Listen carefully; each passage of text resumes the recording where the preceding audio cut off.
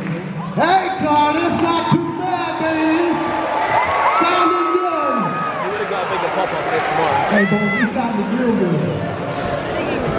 You know what? There's another verse, isn't there? But, uh, but I'm going to do this one just me. So everybody just shut your mouths for this one.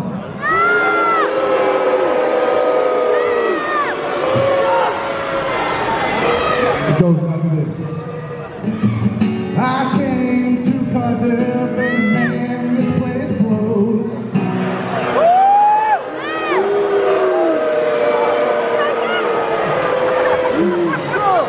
Hold, hold on, there's just a little bit more. I came to cut up and man, this place blows. The kids here are so stupid, I want to punch them all in the nose.